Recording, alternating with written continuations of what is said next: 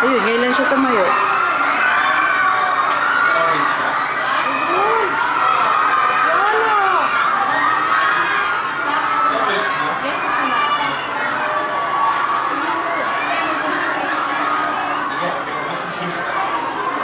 Alis na.